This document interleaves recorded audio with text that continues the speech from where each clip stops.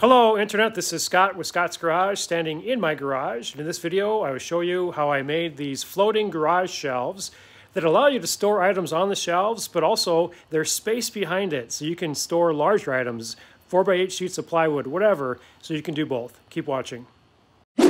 Welcome to Scott's Garage. Welcome literally to my garage.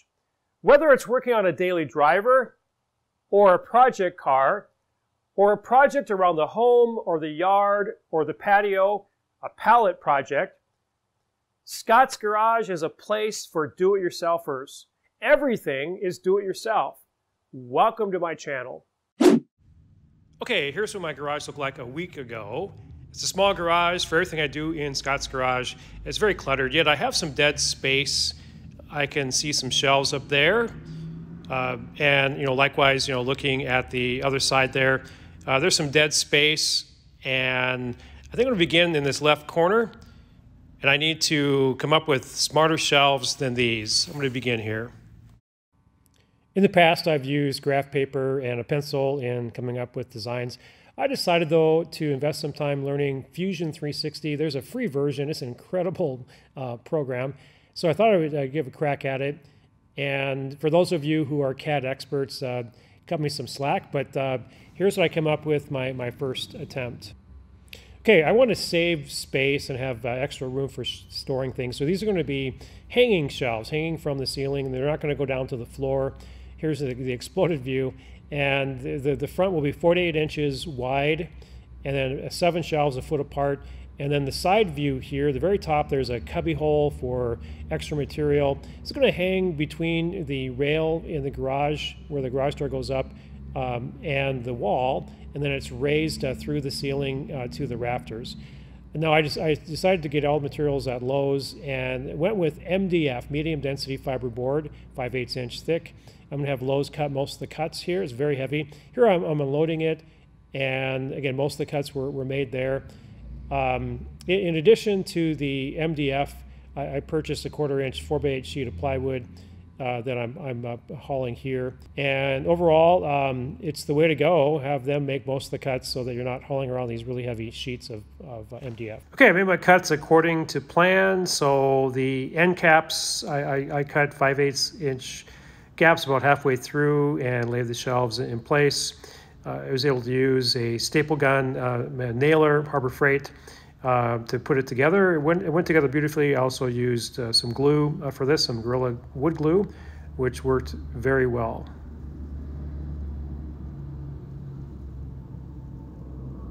I decided to add a top piece. It's not in the plans, but just thought I would make it a little bit more stable.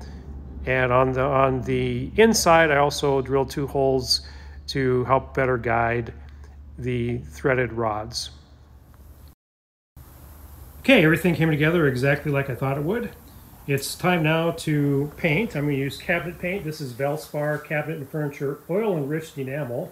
So the oil enriched makes it uh, so that you have less brush strokes in that. I am going to uh, brush it on. And the color that I've chosen for this garage makeover uh, is this. It's called Rock Bottom. Um, you can see it there, but it's just a, it's a nice like stone gray and I think it'll work well. Let's get painting. Okay, I began painting it. It was a little bit too windy outside though, so, I'd better shut the garage door rather than dust blowing in. I ended up using a, a, a foam brush and a roller. A combination of the two seemed to work really well uh, for this. Really love this paint. Uh, it, it is it does hide all the brush or roll strokes. I think it's because of the oil in it. It did make it smell though uh, pretty strong, so I did wear a respirator uh, in, in applying uh, the paint. Also, uh, love the color. It should work well for all the things that I, that I create for this makeover. It needed a second coat, so I'm, I'm, adding a second coat here. And again, I can't say enough about this paint.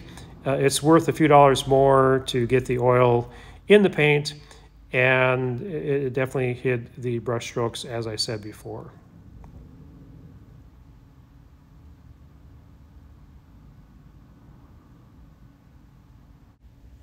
Okay, here I'm laying out the, the plywood. I had to cut about a foot off of it. Um, the ply, plywood is 4 by 8 obviously.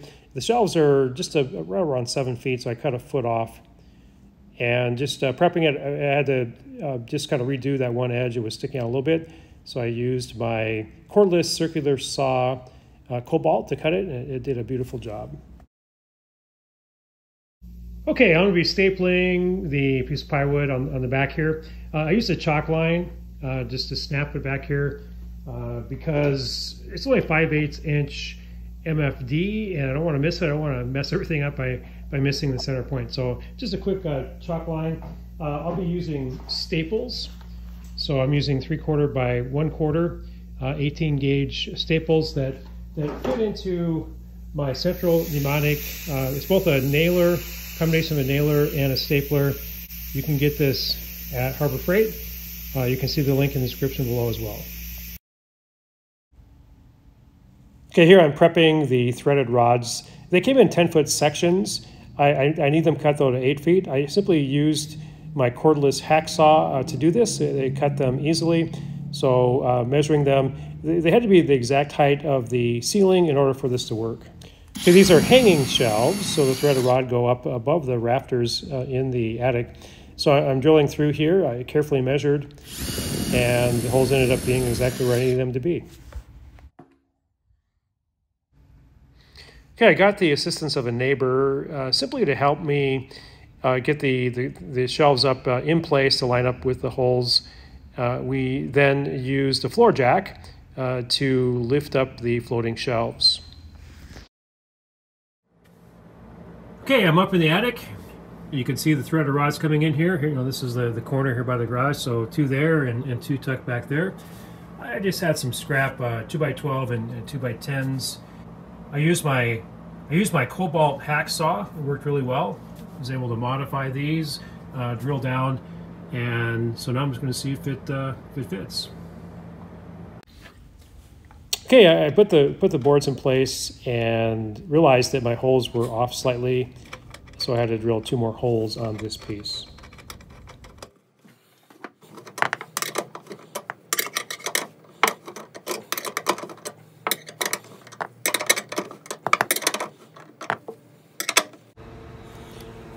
The back corner though was a precise fit, which always makes you feel good.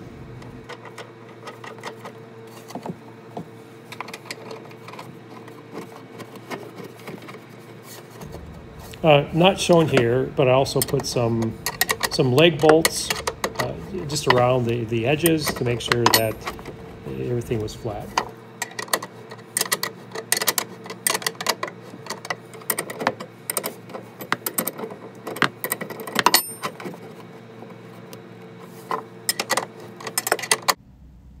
Okay, there it is in place. It's very secure, very solid. I'm uh, really pleased with how the threaded rod worked. Now it's time to, uh, to load it up with uh, things that I use almost every week.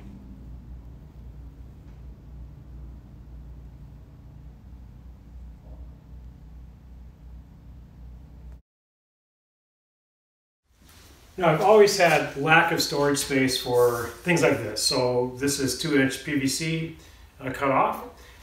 So the space up here is it's high up there, but it's perfect for pieces like this.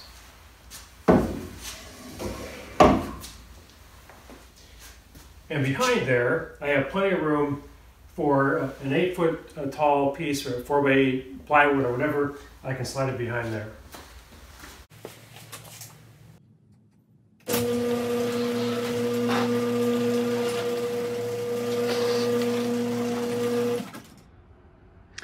Okay, it's been a week since I finished this project.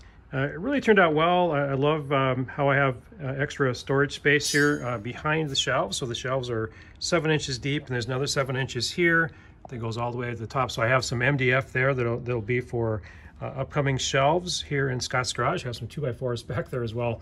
And I also have room underneath uh, for floor jack and, and, and jack stands. You may ask, why did I go all the way to the floor?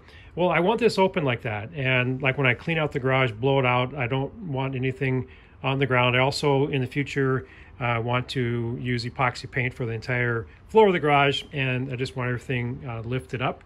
Uh, a few more things to point out. Um, so when I position this, you can see that, you know, here's the garage rail. It's not right up to it. I left a gap of maybe an inch or so And, and likewise on, on this side, I didn't go right up to the wall, but I, I left a gap there. Um, just thought that would be wise. Now, as far as the threaded rod, I did not buy the threaded rod at Lowe's. I bought it at a local hardware store. It's half inch threaded rod. It came in, in 10 foot uh, sections here. And I probably could have used 3 eighths, but I used half inch. Um, also, after a day, I went back up into the attic and I, I put the floor jack back on, uh, it uh, to the bottom here for support. I backed off the nuts and then I, I put uh, some thread lock on all the nuts uh, both in the attic and then and then also um, down here. Also, I forgot to point out that these boards, they go all the way across on the bottom. There are two of them. They're studs. So they're not two by fours, they're studs, two by three. And, you know, that's where I ran the, the rod through. And then the upper board is just the 5 8 inch board, but likewise um, to, to guide those more. Initially, I had planned to put the threaded rod on the inside of the shelves, but as I was putting it together, it just made more sense to put it on the outside. So this video is the first video on a playlist called Scott's Garage Makeover, where, where basically um, I make better use of space in this small garage. It's only 19 feet by 20 feet, double car garage. Uh, but this is again, this is the first video, uh, so look forward to other videos on this playlist. Now, as far as this video, if you got any value at all from this video, Please hit like. It costs you nothing, but is of great value to me. And as always, have a great day.